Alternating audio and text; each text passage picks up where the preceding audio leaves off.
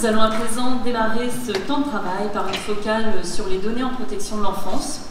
Cette intervention va vous être présentée par Anne-Louis, Mylène Momic, respectivement chargée de mission et d'études à l'ONPE, et par Philippe Callot, référent au DPE de l'Aisne, qui partagera l'expérience de son département. Un temps d'échange est prévu à l'issue de leurs interventions. Merci. Bonjour à toutes et à tous. Euh, la loi de 2004 a confié à l'ONPE la mission de développer et diffuser les connaissances en protection de l'enfance, notamment celles relatives à la connaissance euh, chiffrée et la mise en cohérence des données chiffrées. Ces missions ont été confirmées en 2022 par la loi consacrant l'ONPE comme Centre national de ressources. C'est à ce titre que l'ONPE poursuit son travail d'analyse des données existantes en protection de l'enfance, une question centrale à l'ONPE afin de les mettre au service de la politique, de, la politique publique de protection de l'enfance. C'est à ce titre... Je suis désolé, je suis en train de basculer. Donc, ces données sont travaillées euh, dans un souci de rendre compte de la situation des enfants bénéficiant de protection, tant au niveau local que département, euh, national que départemental. Pour ce faire, l'ONPE s'appuie sur des indicateurs élaborés parfois depuis euh, plusieurs années et qui illustrent certaines de nos publications, publications que nous nous attachons à valoriser à l'aide de fiches synthétiques, comme ça a été évoqué tout à l'heure, qui mettent en lumière des indicateurs clés. Parmi ces publications, on peut notamment citer le rapport sur la situation des pupilles de l'État, ou encore la note sur les chiffres clés en protection de l'enfance et leurs fiches synthétiques qui apparaissent en fait sur la diapo. Enfin, on peut citer également euh, l'ONPE synthèse numéro 7 qui a porté spécifiquement sur un indicateur dont nous allons vous parler aujourd'hui, le taux de prise en charge. Alors la note portant sur les chiffres clés en protection de l'enfance est une des illustrations de ce travail euh, que nous menons depuis maintenant 5 ans.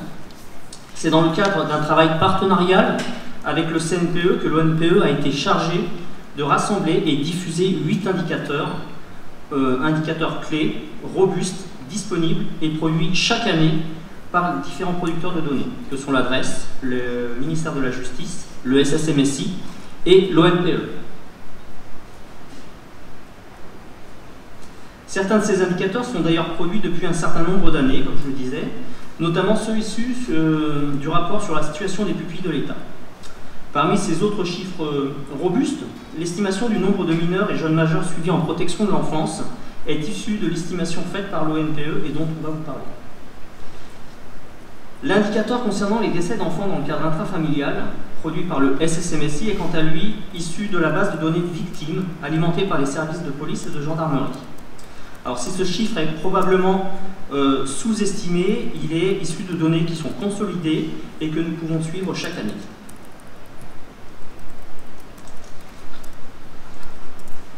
L'indicateur relatif à l'estimation du nombre de mineurs et, jeunes majeurs euh, suivis en protection de l'enfance a été, lui, élaboré dès la création de l'ONED à l'époque, après avoir fait un état des lieux des différentes sources de données disponibles en protection de l'enfance. Les constats faisaient état de l'absence de connaissances populationnelles des enfants suivis, cette connaissance portant essentiellement sur des mesures de, protection. Alors ces constats nous ont conduit à construire un indicateur à partir des données disponibles sur les mesures de prise en charge, afin d'approcher au plus près le nombre d'enfants concernés. Alors pour aboutir à cette estimation, euh, l'Observatoire mobilise les données produites par, par l'adresse et la DPJJ et celles-ci sont mises en regard avec les données des tribunaux pour enfants euh, sur le nombre de mineurs suivis en assistance éducative. Alors à partir de là, on détermine un taux de, double mesure euh, sur les mesures judiciaires et en, l'absence de, de, données comparables au niveau administratif, on fait l'hypothèse que ce taux de double mesure est identique. C'est ainsi qu'on aboutit à l'estimation d'un nombre d'enfants suivis en protection de l'enfance. Le nombre de mineurs suivis en protection de l'enfance est ensuite rapporté au nombre de mineurs en population générale pour obtenir un taux de prise en charge. Celui-ci est ainsi estimé à 21,7 pour 1000 au 31 décembre 2021. Cet indicateur, donc reproduit chaque année, nous permet un suivi dans, le temps, comme nous le montre le graphique. Le calcul du, taux de prise en charge par, département, lui, est calculé à partir de la somme de l'ensemble des, mesures et des prestations rapporté à l'ensemble de la population mineure. Ainsi, ce taux varie de 12,2 pour 1000 dans les Yvelines à 50,6 pour 1000 dans le département de la Nièvre. Alors la carte qui est présentée ici euh, sur le taux de prise en charge par département, donc pour la faire, nous avons euh, construit 5 classes de 20 départements pour chacune des classes. Et les départements donc, euh, présentant les couleurs, les, taux les plus faibles sont représentés par une trame de couleur la plus claire. Et à mesure que, que les taux augmentent, les départements sont représentés par une couleur de plus en plus soutenue. Je voulais vous préciser que cette carte et celle qui va suivre euh, sur la diapo euh, prochaine sont issues du travail que nous, avons élaboré sur la population des enfants suivis en protection de l'enfance et qui sera donc, comme le disait Anne tout à l'heure, publié à la fin de l'année. Nous déclinons ensuite ce taux de prise en charge selon différentes modalités d'accompagnement, euh, que sont l'accueil et le milieu ouvert, pour l'ensemble des mineurs et pour les jeunes majeurs. Et depuis trois ans, euh, nous sollicitons également l'INSEE pour obtenir les données départementales plus fines euh, par classe euh, d'âge dit scolaire, afin de, répondre à des, attentes que vous pourriez avoir dans, dans vos départements. Vous avez ici donc l'illustration de l'indicateur portant sur le taux de prise en charge en accueil, hors placement direct, des enfants âgés de moins de 3 ans au 31 décembre 2021. Ça croise ainsi donc les données de l'adresse et euh, les données que je vous citais de, de l'INSEE. Alors cet indicateur fait notamment écho à, différents travaux sur l'accueil des tout petits et je pense notamment au rapport d'études de l'ONPE Pensez Petit. Alors comme pour la carte précédente, hein, donc, euh, la, trame de couleur la plus faible représente les taux de prise en charge les plus faibles et euh, à mesure que, que cet augmente, la carte devient de plus en plus intense et le taux de prise en charge national est ainsi estimé à 4,9 pour 1000 mineurs de moins de 3 ans au 31 décembre 2021, euh, ce taux variant de 1,4 pour 1000 dans les Yvelines à 11,5 pour 1000 dans la Nièvre. Alors cet écart de 1 à 8 hein, euh, pose euh, alors des questions qui nécessiteraient de mobiliser d'autres sources de données afin de comprendre et expliquer ce constat, comme par exemple mobiliser des données que, vous pouvez avoir en département, les données PMI, pour, pour voir si ces écarts sont sont du même ordre euh, concernant euh, les, enfants en PMI, ou s'ils peuvent éventuellement se compenser et expliquer ce, moindre taux de prise en charge dans certains départements.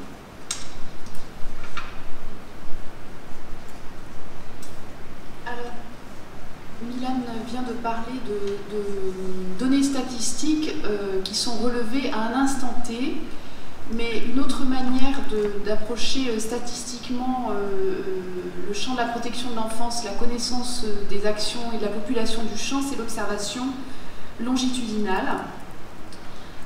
comme, comme Milan l'évoquait déjà, plusieurs constats sont donc ressortis lorsque l'ONED à sa création a fait l'état des lieux des sources de données disponibles, donc c'était il y a 20 ans, et euh, ce qui apparaissait, c'est vraiment que les données existantes dont on disposait, c'était des données d'activité, des données sur des mesures administratives, des mesures judiciaires, mais qu'en revanche, on avait très peu de données sur les enfants.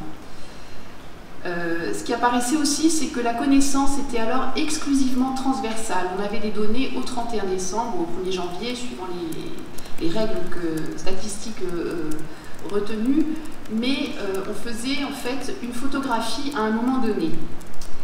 Et peu ou pas à ce moment-là de connaissances sur les parcours des enfants dans le dispositif de protection de l'enfance, pas de données sur les entrées, donc pas de données sur les sorties, pas de données sur les durées de prise en charge. D'où un intérêt pour des approches dites longitudinales qui suivent les individus dans la durée, d'abord parce que c'est des approches qui peuvent être centrées sur les personnes, aussi parce qu'elles suivent les individus dans la durée et qu'elles permettent de connaître une population concernée par une politique publique du point de vue d'un certain nombre des caractéristiques de cette population, dont certaines de ces caractéristiques ne peuvent être appréhendées que dans le temps et, pas simplement à un moment donné. Et donc dans les années 2010, on a vu se développer des études ciblées, études de parcours, études de devenir des enfants protégés, Étudier les parcours, c'est aussi regarder comment se met en œuvre un dispositif de protection de l'enfance en termes de démarrage d'une trajectoire, donc de sa durée, de son déroulement du point de vue du type de prestations, de mesures qui sont mobilisées, qui peuvent éventuellement se succéder. Les études longitudinales font apparaître des informations aussi qui sont difficiles à voir à intenter, comme je vous le disais. Par exemple, les taux de violence subis par les enfants protégés sont beaucoup plus élevés si on s'intéresse à cette, question en suivant leur prise en charge que si on la regarde à un moment donné, par exemple, à l'entrée dans le dispositif de protection. Je vous renvoie pour cela à la note que nous avons publiée en fin d'année dernière qui s'appelle Chiffrer les maltraitances. Et cela, cette réalité, elle est liée au fait que les enfants révèlent les maltraitances au cours de leur prise en charge lorsqu'ils se sentent en sécurité, et c'est particulièrement le cas pour les violences sexuelles. Donc ça explique que si vraiment on veut connaître le taux d'enfants qui a subi des maltraitances, eh bien, il faut s'intéresser au parcours parce que c'est à un moment de son parcours que chaque enfant va pouvoir peut-être révéler des maltraitances qui n'ont pas été vues au début. Parmi les expériences d'études de parcours, on peut évoquer différents travaux, celui, ceux d'Émilie Potin sur les parcours d'enfants pris en charge en protection de l'enfance, qui a permis de décrire trois types d'itinéraires. L'itinéraire des enfants placés, qui ont des parcours continus, les enfants déplacés, qui ont des parcours avec euh, des ruptures de prise en charge, des changements de prise en charge réitérés, et des enfants replacés, qui sont des enfants qui se font des allers-retours entre des prises en charge et des temps dans leur famille. On a aussi l'étude du docteur Rousseau sur le parcours d'enfants qui ont été placés en pouponnière pour savoir ce qu'ils sont devenus. Alors cette étude, elle, a plein de données, mais en particulier, elle met en lumière les effets sur la santé des enfants d'une exposition précoce et durable aux maltraitances et les effets d'un repérage tardif des maltraitances sur la santé des enfants. On a également, bien entendu, tous les travaux sur la cohorte ELAP qui continuent à donner lieu à des publications extrêmement importantes sur des parcours de jeunes sortis du dispositif et sur, euh, le vécu sur le temps de leur sortie, puisque dans cette étude longitudinale, les jeunes ont pu être en partie revus au moment de leurs 17 ans, puis ensuite un an plus tard. Et puis, euh, je voulais citer une dernière étude qui a été soutenue par le Conseil scientifique, qui est une étude sur une centaine d'enfants confiés à l'IDEFI, l'Institut de l'enfance de Seine-Maritime, qui met en lien la stabilité ou l'instabilité des trajectoires avec la précocité ou le caractère tardif des prises en charge, mais qui croise aussi ces trajectoires avec les violences subies par les jeunes et avec leur état de santé. Alors tous les constats qui avaient été faits donc, euh, il y a une vingtaine d'années sur le manque de données, de connaissances des populations et des trajectoires, c'est ces constats qui ont été à l'origine du dispositif Olympe, dont je veux juste rappeler qu'il a d'abord été pensé et élaboré par un groupe d'expérimentation avec quelques départements, avant que la loi de 2007 et son décret d'application ne généralisent cette expérimentation, posant les bases d'un dispositif d'observation longitudinale nationale. La loi de 2016 a stabilisé le périmètre d'observation, en particulier elle a détaché l'observation de l'information préoccupante parce que nos travaux en particulier avait montré que l'information préoccupante n'était pas une unité de compte robuste, euh, que personne ne pouvait compter finalement la même chose quand on parle d'information préoccupante, on y reviendra cet après-midi. Et euh, donc euh, c'est pourquoi le dispositif Olympe démarre à partir des premières mesures ou prises en charge, premières mesures ou prestations. en plus, en 2016, on a étendu le périmètre de l'observation aux jeunes majeurs. Et puis par la suite, la loi de 2022, euh, qui est en œuvre depuis le 1er janvier 2023 sur ce plan, donc, euh, a conduit à ce que l'adresse devient la seule responsable de la collecte et du traitement des données, la loi l'autorisant à collecter également des informations d'identification, l'ONPE restant lui positionné en amont dans le travail de sensibilisation des départements sur l'intérêt de ce dispositif, c'est ce qu'on est un peu en train de faire là maintenant, et en aval sur l'exploitation statistique de la base nationale Olympe qui réunit l'ensemble des données transmises.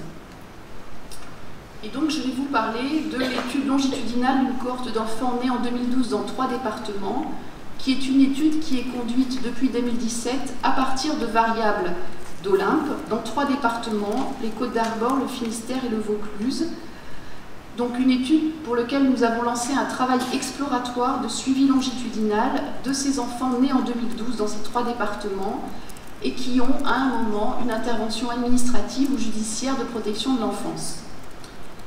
C'est un travail qui, pour la première fois à notre connaissance, s'inscrit sur un temps long et permettra à terme de donner à voir le parcours des enfants dans leur globalité. Bien entendu, quand on s'intéresse à un parcours en protection de l'enfance et quand on commence à regarder une cohorte à partir d'une année de naissance, on se rend compte qu'il va falloir aller jusqu'au 18 et même jusqu'au 21 ans de la cohorte pour avoir une vision globale du parcours. Mais ceci n'empêche pas de voir apparaître de premiers résultats au fur et à mesure du suivi longitudinal. Alors, il s'agit, je l'ai dit, d'une étude inédite. Et donc, le traitement des données a nécessité de définir une méthode, ce que nous avons fait dans le groupe d'exploitation, composé de représentants de l'ONPE et de chacun des départements. Il nous a fallu déterminer des règles d'exploitation. Et pour vous donner un exemple, pour étudier la durée des parcours et leur continuité à partir de données sur les dates de début et de fin de mesure, il est nécessaire dans nos données de ne pas confondre des temps d'interruption entre deux interventions, le temps administratif on change de mesure, et des vraies interruptions de parcours d'enfants qui parfois pourront revenir ultérieurement. Et donc pour éviter ces confusions, le groupe a considéré comme véritable interruption de prise en charge dans les parcours tout arrêt d'au moins 30 jours, donc euh, toute distance d'au moins 30 jours dans les données. J'évoque ceci pour vous montrer que le travail d'analyse statistique, notamment sur les données longitudinales, doit complètement s'articuler aux pratiques pour donner du sens aux chiffres. C'est le cas aussi sur les données incartées, mais peut-être euh, de manière encore plus évidente sur les données longitudinales. Alors le travail d'exploitation que, nous avons euh, mené euh, et qui donne lieu à des publications, nous avons publié sur la cohorte à l'âge de 4 ans, à l'âge de 5 ans, et nous sommes en train de préparer la sortie d'une nouvelle publication de la cohorte, l'étude de la cohorte, à l'âge de 9 ans. Donc quelques enseignements qui apparaissent. Donc je vous le disais, le fait que certains indicateurs ne seront véritablement parlants qu'une fois la cohorte parvenue à l'âge de 18-21 ans, comme par exemple les durées moyennes de prise en charge. On regarde les durées moyennes de prise en charge actuellement, mais en réalité, ça ne signifie pas grand-chose parce que les parcours ne sont pas terminés, il y a des nouveaux parcours qui commencent. Donc euh, pour le moment, ce n'est pas très significatif. Un autre enseignement de notre travail d'exploitation, c'est que l'analyse des parcours ne pourra être affinée qu'en les croisant avec des données sociodémographiques sur la situation des enfants et des familles, ou encore avec les données sur le type de danger et de maltraitance subie, données qui restent à ce jour mal renseignées dans Olympe. Donc en fait, on travaille à partir des données les plus solides actuellement, qui sont les mesures, la succession des mesures, et on peut voir apparaître bien sûr des enseignements sur la succession des mesures dans les parcours, mais nous commençons à voir apparaître aussi l'importance de pouvoir croiser ces parcours de mesures avec des données sociographiques sur la famille, les familles des enfants, les configurations familiales, et aussi des données sur les situations de danger auxquelles les enfants ont été exposés. D'où l'importance que ces données soient aussi, euh, que soient aussi collectées et saisies. Alors, quelques résultats importants tout de même, je vous le disais, donc pour cette publication au 9 ans de l'enfant. Dans les trois départements, plus de 80% des enfants nés en 2012 et ayant bénéficié d'une prestation ou mesure avant l'âge de 9 ans ont commencé leur parcours par une intervention à domicile, administrative ou judiciaire. Plus de 80% des enfants hein, ont commencé par une intervention à domicile, ce qui souligne les enjeux du pilotage des mesures de milieu ouvert dans les politiques départementales c'est les mesures massivement utilisées en début de parcours. Donc on a quand même intérêt à se pencher dessus et, sur, euh, sur leur mise en œuvre, sur ce qu'elles produisent, etc. Euh, un autre enseignement, c'est que tout de même, l'entrée par une mesure de placement administratif ou judiciaire concerne entre 13 et 17% des enfants, ce qui n'est pas non plus négligeable. Dans les trois départements, les parcours en protection de l'enfance des enfants entrés avant 9 ans débutent plus fréquemment par une mesure de TISF. La mesure phare, c'est la mesure de TISF en début de parcours, entre 43% et 53% euh, des enfants concernés selon les départements. Toutefois, et ça c'est nouveau et c'est quelque chose qui apparaît avec la cohorte euh, à 9 ans, à partir de 4 ans, de 6 ans ou de 7 ans selon les, départements, donc à partir du moment où les enfants rentrent à ces âges-là, L'intervention TISF laisse peu à peu la place aux mesures d'aide éducative en milieu ouvert. Et là, ce n'est pas la même chose dans les départements. Ça peut être l'AEMO dans, dans, deux départements, ou plutôt l'AED dans un autre département. Donc voilà quelques enseignements que nous commençons à tirer de cette étude de cohorte. Et je vais laisser la parole à Milan pour qu'il vous parle de l'indicateur du taux de prise en charge, tel qu'il ressort de cette étude longitudinale. Après l'avoir vu à l'instant T, on le regarde au niveau longitudinal. Alors oui, en, termes d'indicateurs, nous avons choisi de vous présenter le, taux de prise en charge non plus d'un point de vue transversal, mais d'un point de vue longitudinal. Alors, le taux de prise en charge euh, longitudinal donne à voir la population d'enfants d'une cohorte donnée euh, ayant connu à un moment donné une intervention en protection de l'enfance. Alors, il est calculé en, rapportant l'ensemble des enfants ayant connu donc, au moins une intervention en protection de l'enfance pour la, la cohorte d'enfants nés en 2012 sur un territoire donné. Euh, alors, vous voyez que cet histogramme présente donc ce taux de prise en charge pour les trois départements de l'étude exploratoire à différents, âges. Alors, euh, toutes mesures confondues, avant l'âge de 9 ans, 5,5% des enfants nés en 2012 dans le Finistère ont bénéficié d'au moins une prestation ou mesure en protection de l'enfance. Ils sont donc respectivement 6,9% et 9% dans les départements du Vaucluse et des Côtes d'Armor.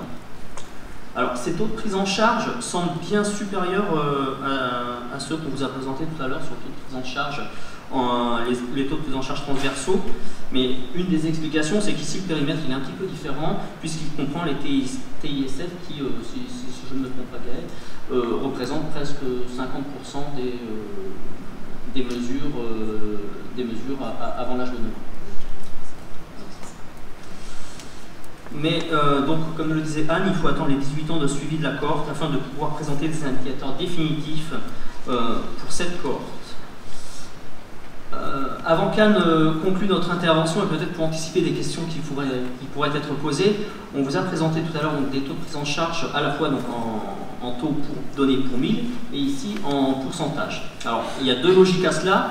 La première, c'est qu'elles sont un peu liées à nos formations initiales donc euh, Gaël Guibert euh, qui a travaillé sur les indicateurs longitudinaux et euh, ma formation à moi qui, qui est travaillée sur les indicateurs transversaux, c'est que nous en démographie, on utilise plutôt des, taux en fourmis et, et Gaël en, en stats utilise des taux en pourcentage.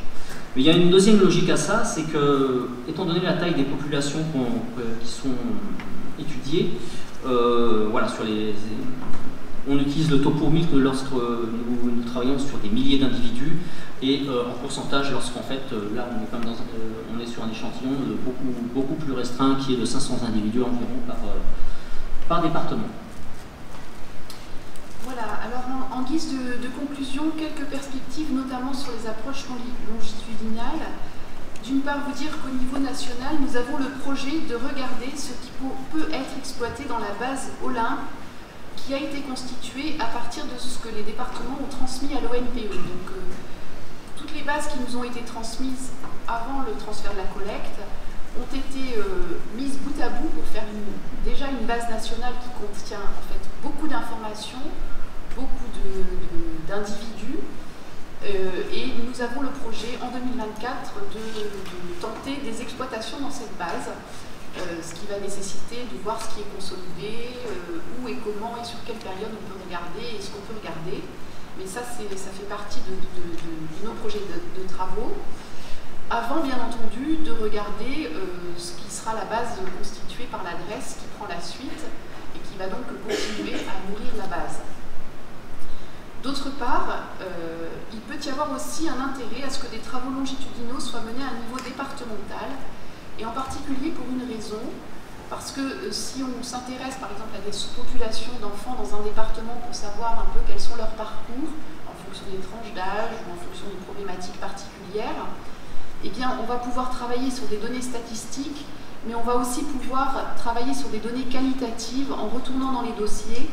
Or, nous nous sommes rendus compte aussi dans le, dans dans groupe d'exploitation qu'à certains moments, on avait besoin des données qualitatives sur le travail longitudinal. Donc euh, voilà, euh, ça peut être intéressant aussi de conduire des travaux longitudinaux au niveau territorial sur des effectifs plus petits, mais avec des données qui seront plus riches. Voilà, merci beaucoup pour votre attention.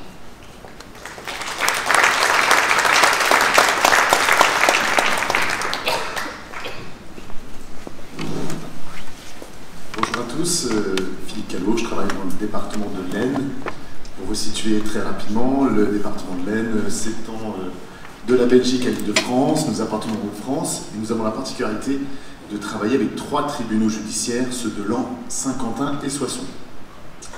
Alors, quelques, un premier point sur la méthodologie que nous avons installée concernant le, rendu de notre activité et les chiffres clés. La première étape, c'est la détermination des infos euh, à retenir. Il y a toute une masse d'informations euh, qui, est portée à notre connaissance, et l'idée, c'est tout d'abord de déterminer ce qui sera utile à mettre en avant. Utile à mettre en avant, c'est euh, dans un premier temps pouvoir ensuite mieux piloter, pouvoir mieux valoriser aussi, que ce soit l'action des, professionnels ou les actions innovantes. Une fois qu'on a déterminé les actions euh, et les informations à retenir, où allons-nous chercher ces informations?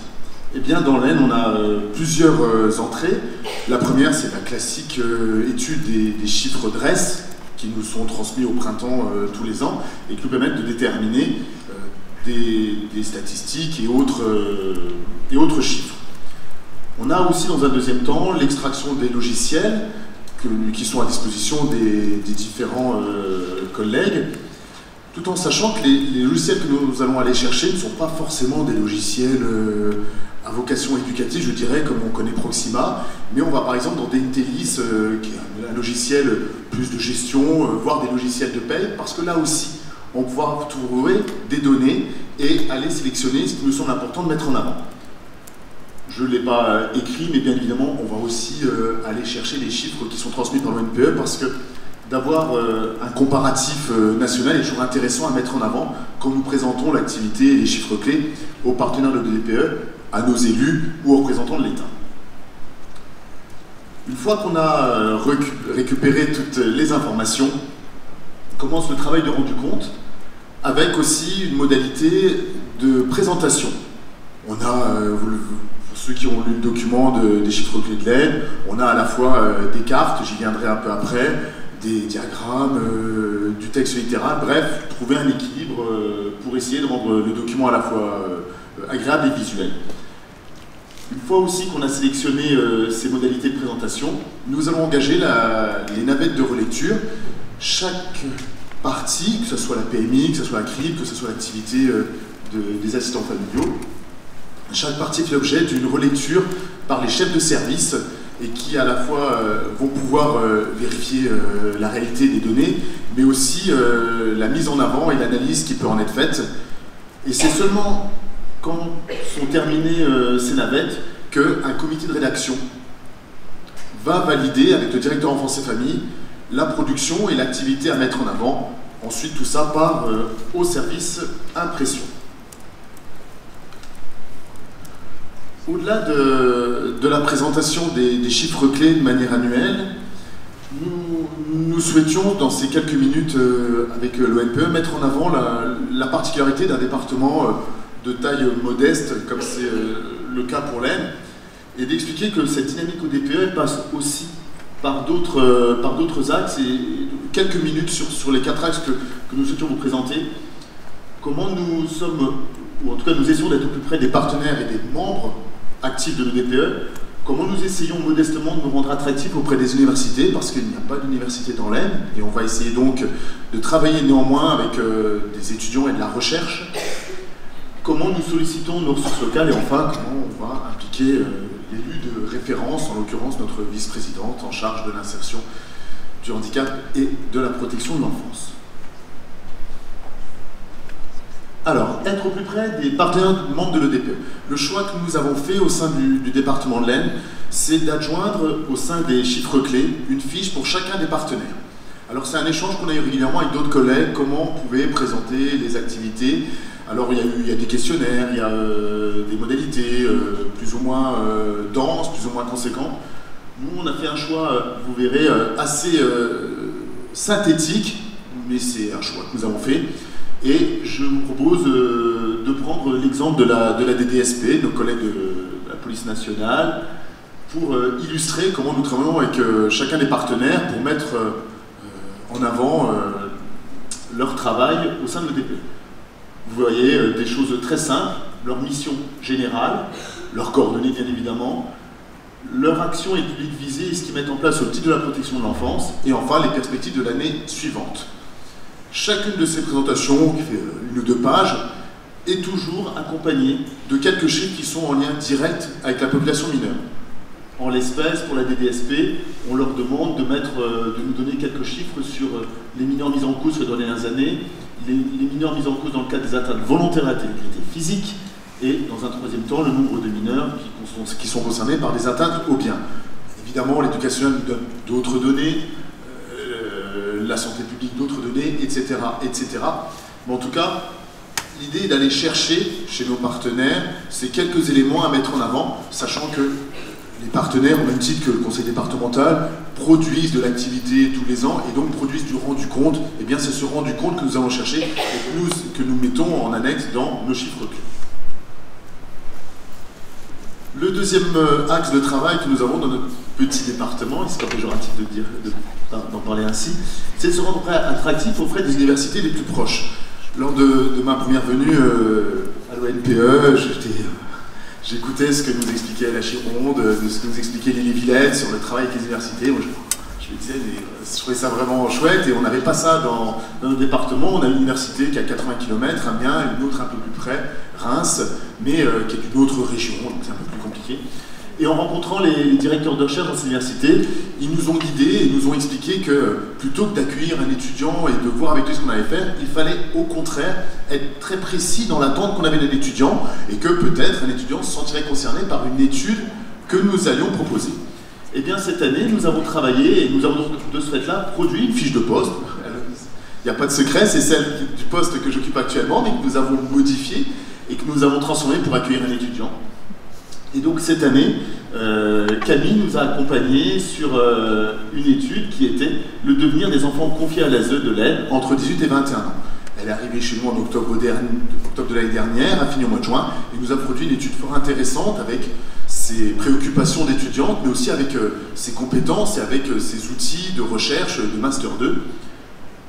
C'est aussi une manière de, dynamiser notre, notre DPE et puis notre activité pour information, euh, Stella nous rejoindra euh, lundi prochain au service euh, pilotage et prospective. Et la mission sur laquelle, et l'étude que nous confiée s'appelle la participation parentale dans le cadre d'une mesure d'accueil en protection de l'enfance. Elle va travailler pendant une vingtaine de semaines sur ce thème-là et nous produira une étude qui nous sera, n'en doute pas, fort utile. Le troisième point à mettre en avant sur notre travail partenarial, c'est la sollicitation des ressources locales. Vous avez là deux exemples, je vais les détailler. On travaille beaucoup avec le service cartographie, avec le portail, qui a euh, donc le portail départemental, qui a des euh, données INSEE et qui a euh, des, milliers de données diverses et variées. Et nous, on leur demande de mettre en avant notre activité, et donc on leur donne nos chiffres de manière brute, et eux la transforment. Ça nous permet, au-delà d'un visuel, d'avoir une véritable analyse et d'être vraiment dans le pilotage. Si je prends la, carte de gauche, nous avons là un ratio d'informations préoccupantes par nos différentes UTAS, donc notre découpage territorial. Vous voyez, par un code couleur, on arrive à voir, sur une évolution de 2016 à 2022, eh bien, où sont peut-être euh, les moyens ou les actions à mettre en place et à rediriger. Le secteur de la tirage à la frontière belge est un secteur euh, qui est particulièrement sensible à notre département eh bien, ce type de données-là, rapidement, nous permet d'évaluer euh, et d'orienter des politiques. Nous avons à chaque fois l'icône aussi du département et selon les thématiques, nous allons rajouter la petite carte de France qui nous permet aussi d'avoir un visuel très rapide sur où en sommes-nous au niveau du département par rapport à une échelle nationale. Le deuxième point que nous allons mettre en avant, par exemple, c'est la répartition des estampes familiaux dans le département de l'Aisne eh bien là aussi, au-delà d'un visuel euh, qui est peut-être euh, plus sympathique euh, et plus agréable que des chiffres donnés dans un tableau, ça nous permet aussi de travailler et de nous rendre compte qu'il y a peut-être un travail plus conséquent à faire dans le sud du département en termes de recrutement et d'action pour aller chercher les actions familiaux sachant que notre pyramide des âges n'est pas très favorable actuellement avec des départs à retraite conséquents, eh bien, il sera peut-être sur le sud du département, alors que des secteurs comme Chauny, Ternay-Lafer, Lan ou Saint-Quentin sont plutôt bien pourvus. Voilà un peu ce que nous essayons de travailler avec le portail, qui pour le coup n'a, euh, c'est pas péjoratif de dire non plus, mais n'a aucune compétence sur la protection de l'enfance. Mais lui nous transforme des données et nous permet de pouvoir euh, travailler ensuite un visuel. Et puis le dernier point à mettre en avant, c'est l'implication de, l'élu de référence à chaque fois que nous avons un temps fort au niveau de, de notre travail à l'EDPE, nous sollicitons, et elle est présente, la vice-présidente du conseil départemental sur le sujet, L'exemple de gauche, c'est le, comité des jeunes que nous avons mis en place depuis euh, plus d'un an maintenant. Elle est présente à chaque euh, assemblée plénière, vient à la rencontre des jeunes et euh, elle, travaille ça aussi avec ses collègues. Elle nous accueille au sein de l'assemblée départementale. Enfin, c'est vraiment important de la solliciter et d'avoir ce lien fort avec l'élu. Et sur la partie droite de la diapo, nous engageons un travail sur la protection des mineurs dans le département de l'Aisne. Elle sera bien évidemment présente à ce temps fort du 7 novembre. Et j'en profite pour conclure euh, sur mon intervention. J'en profite pour remercier l'ONPE qui sera présent et pour son implication, et particulièrement Madame Fougérico qui viendra aussi euh, nous présenter euh, un temps d'introduction lors de cette matinale. Je vous remercie.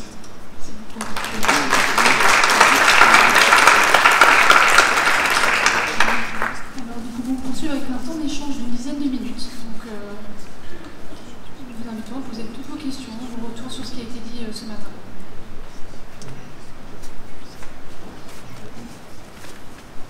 Bonjour, je viens du et j'avais une question sur euh, les moyens humains que vous aviez à disposition pour réaliser toutes ces cartes.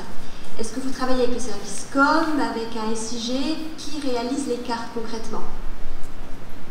Alors c'est euh, le SIG qui s'en charge dans une relation strictement duelle, j'ai envie de dire, une connaissance de, ce portail euh, qui euh, va pouvoir recevoir les données. En fait, on est deux.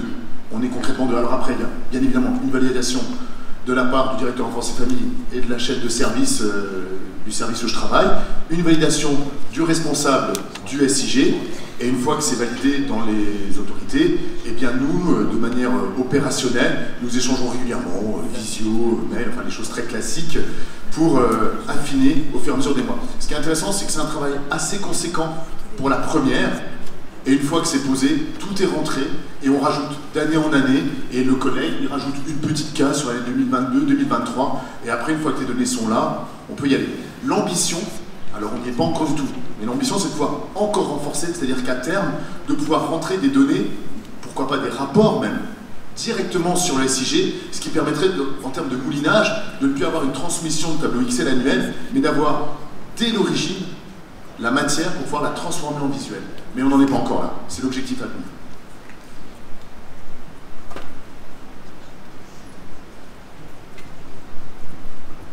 Oui, bonjour, Grégory Dubois, je suis responsable de l'ODPE du Nord. Je suis en train de faire le même travail que, que vous, alors avec un peu de retard. Et c'est la première édition également, donc euh, voit que c'est pas forcément simple, de, notamment de fiabiliser les données, d'aller à la rencontre des partenaires. J'ai deux questions vraiment très, très précises parce qu'on est en plein dedans. Voudrais savoir quel choix vous avez fait de, volume concernant votre rapport. Quel nombre de pages vous avez choisi? Parce que j'ai vu qu'en France, certains étaient extrêmement synthétiques, de 20-30 pages, d'autres il y avait 150-160 pages. Quel choix vous avez fait? Et euh, votre rapport ayant été fait fin juin, à qui vous le diffusez et comment vous le diffusez? C'est une question que je me pose aussi actuellement. Est-ce que vous le mettez en ligne sur euh, une page ODPE de votre département? Est-ce que vous l'adressez? Est-ce que c'est à diffusion restreinte ou très large Merci. Alors très concrètement, euh, le document de cette année fait 111 pages. il est assez conséquent avec une synthèse. alors dans les 111 pages, on va aussi mettre en avant d'autres champs, c'est-à-dire que sont, est ajouté par exemple l'étude que nous faisons annuellement sur les événements indésirables, et puis on va aussi, si on a euh, fait un travail particulier, l'ajouter. Je prends l'exemple de l'année dernière où euh, le service avait produit une étude sur les jeunes dits incasables, une situation complexe. Le mot n'est pas joli, mais on se comprend tous quand on parle de, ce profil. Et donc cette vingtaine de pages en faisait partie aussi. Ça fait, on va dire, 60-70 euh, pages de chiffres clés strictement département, et après on ajoute euh, c'est quelques études et les fiches des partenaires. Sur la diffusion, ça va être euh, d'abord tous les présents sous format papier. Ensuite, il est adressé via X César à toute la liste des membres de l'ODPE. Et puis ensuite, il est mis sur le portail social du département et je l'adresse ensuite à Louise qui le met sur Idealco et sur d'autres plateformes collaboratives. C'est intéressant cette plateforme parce qu'elle permet, je ne sais pas s'il y a quelques collègues qui on échange régulièrement, mais on commence à être un certain nombre euh, à s'appeler, à se faire des visios collectives au sein de, cette plateforme. Et pour exemple, dans, je crois, trois semaines, nous nous retrouvons dans un premier temps avec quelques collègues de la Picardie pour faire un ODPE Picard. Et très rapidement, j'espère, on basculera sur un ODPE Hauts-de-France, sans être dans ce volume au NPE, mais en tout cas de pouvoir se voir et pouvoir échanger sur des thématiques. Nous avons encore déterminé, mais on sait qu'on a tellement de choses euh, à partager, à échanger, qu'on trouvera très vite un ordre du jour euh, à mettre en place.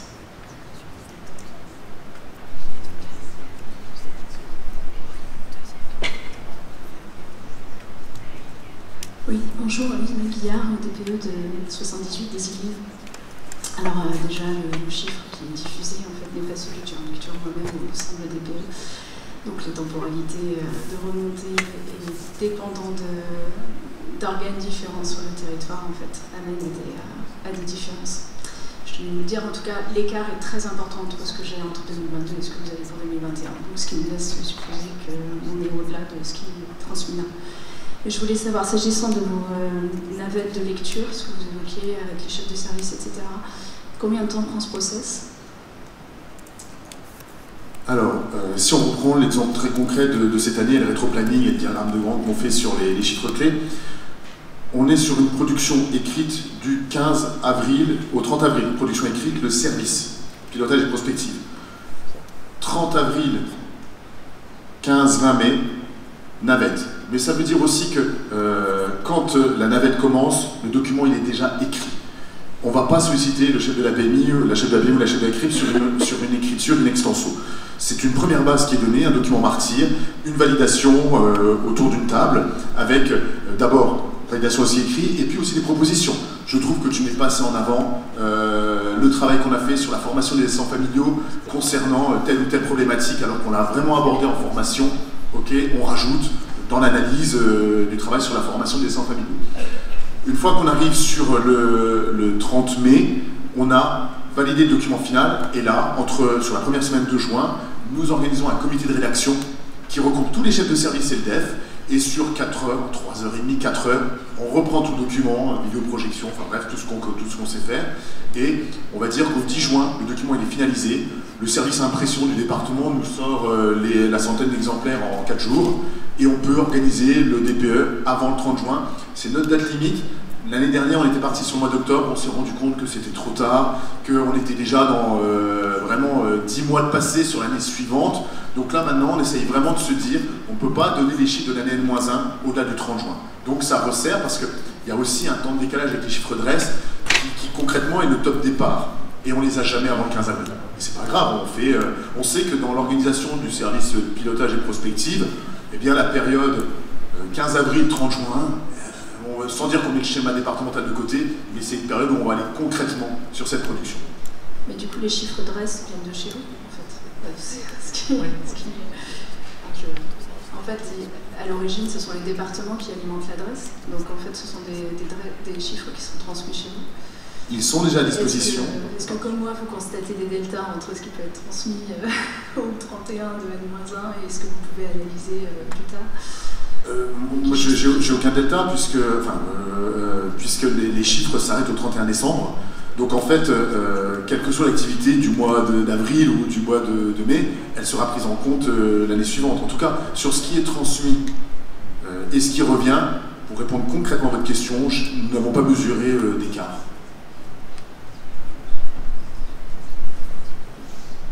Bonjour je voudrais questionner euh, justement la, fiabilisation des données.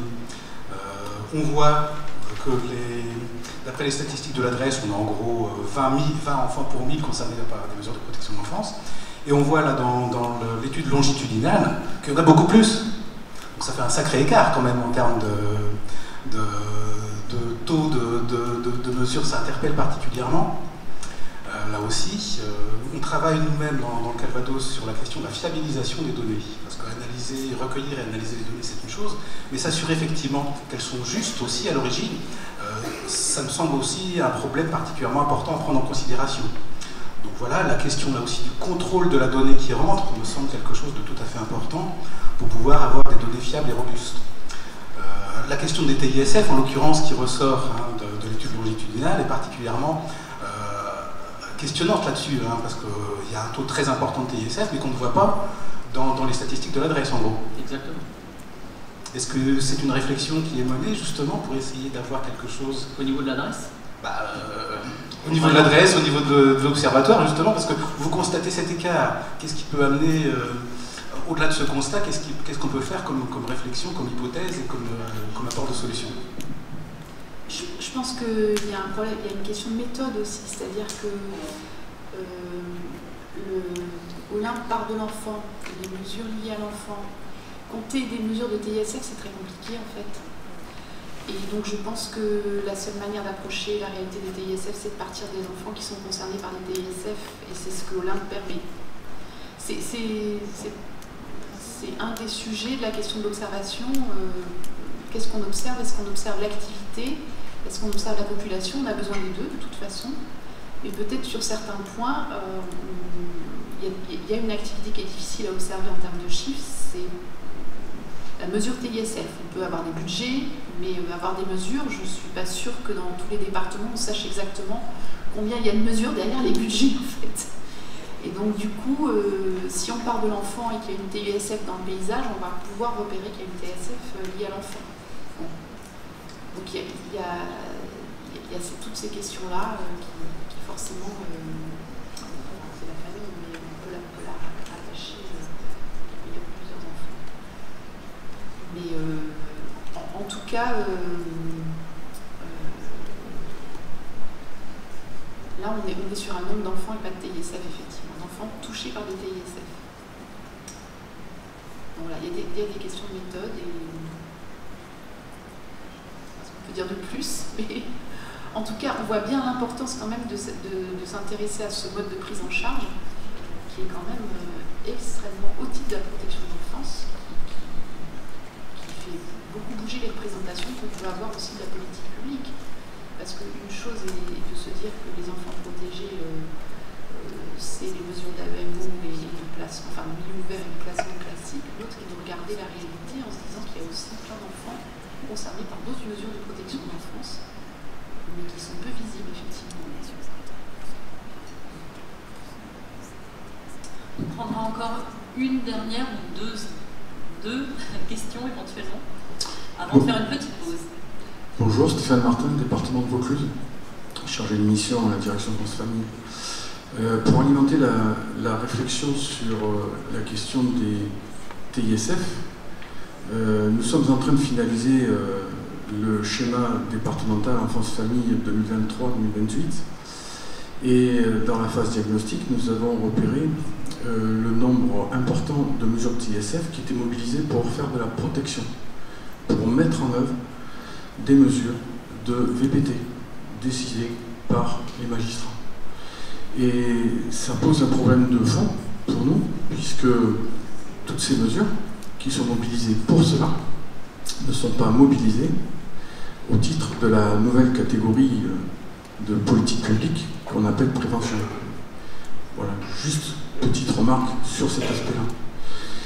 Deuxième aspect, toujours par rapport au, schéma, euh, nous avons le schéma porte comme enjeu euh, majeur la question de la gouvernance de la mise en œuvre, avec la mise en place d'un ODPE qui soit articulé à l'Observatoire des solidarités, euh, dont nous disposons depuis plusieurs années et qui contribue à mettre en œuvre un certain nombre de dispositions, de mesures de, suivi, d'accompagnement qui relèvent des ODPE, mais qui ne suffit pas à, assumer toutes les missions des ODPE.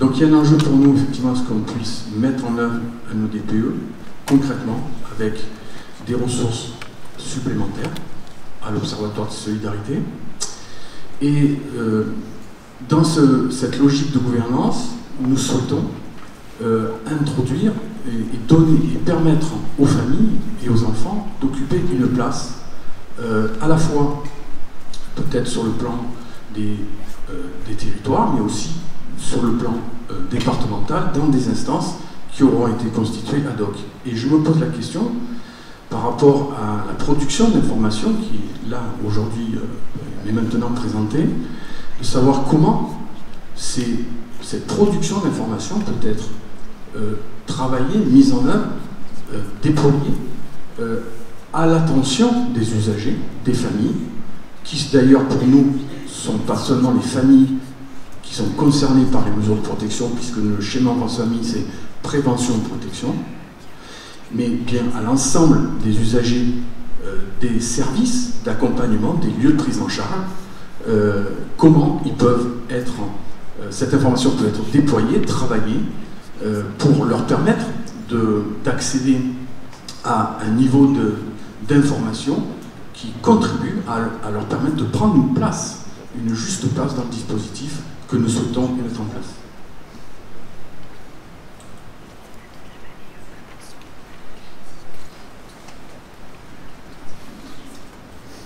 C'est une bonne question, et c'est là où on peut commencer le partage d'expérience. Est-ce que certains d'entre vous ont des, euh, expériences de participation des familles et des enfants dans les ODPE, par exemple.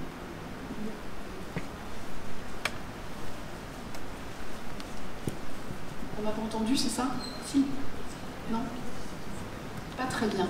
Je dis que la question est intéressante et que c'est l'occasion d'amorcer le partage d'expériences et savoir si parmi vous, euh, certains ont l'expérience d'avoir associé des représentations, des représentants des familles, voire des enfants, euh, dans, le fonctionnement des ODPE.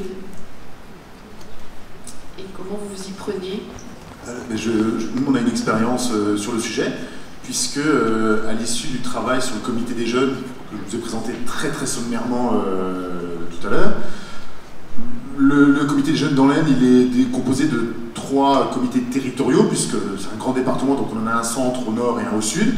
Et bien au sein de ces comités, entre animateurs, euh, puisque je les anime avec un co-animateur, pendant un an, on s'est dit on va discrètement repérer qui, quel jeune pourrait se sentir à l'aise, etc.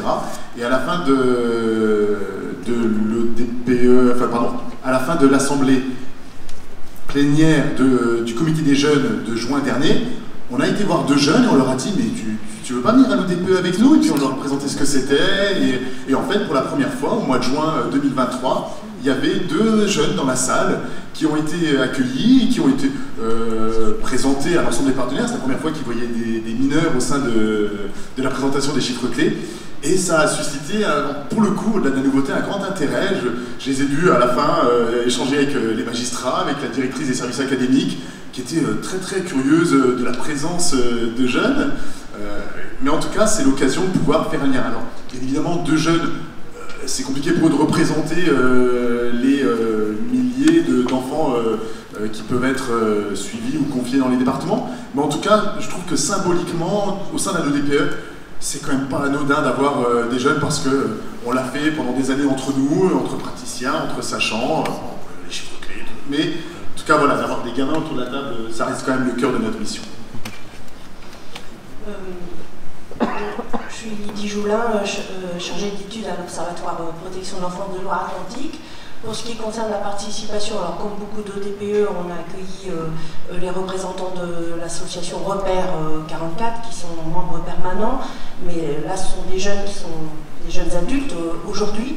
Pour ce qui concerne la participation des, enfants, des jeunes et des familles, nous avons choisi de ne pas euh, installer un comité en tant que tel, parce que c'est toujours euh, les mêmes personnes, souvent, euh, qui sont mobilisées. donc on a plutôt souhaité engager des, expressions régulières sur des sujets en lien avec le schéma. Nous allons à la rencontre des enfants, des parents et des et, des jeunes euh, avec des formes euh, euh, adaptées à la rencontre, c'est-à-dire que c'est vrai que les, réunions des ODPE, c'est quand même pas. C'est beaucoup d'institutionnels, c'est un aéropage quand même de professionnels et très vite on est, on est dans nos langages et, nos cultures.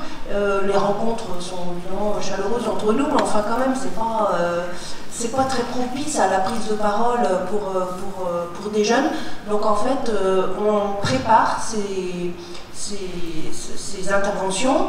il y a peu de temps, il y a eu un film sur le vécu de l'accueil d'urgence du point de vue sans aucun, aucune intervention ou analyse professionnelle. Hein. On est vraiment à l'échelle du vécu de l'enfant et des parents. Et, c'est cette production-là qu'après on, partage euh, avec euh, les personnes qui ont participé, qui sont volontaires pour cette rencontre-là. donc les, supports sont, répétés, variés, et c'est jamais les mêmes jeunes ou enfants ou familles qui, donnent leur, point de vue sur, le sujet en parallèle du comité des usagers dans le département de l'Aisne, nous engageons aussi euh, sur l'année prochaine un comité des parents d'enfants confiés à la zone. on construit ça, ça risque de pas être simple, ça ressemble pas à un CDS, mais en tout cas, euh, on se disait qu'au-delà du comité des usagers, les parents d'enfants confiés, ça peut être aussi euh, intéressant de travailler avec eux. Merci beaucoup.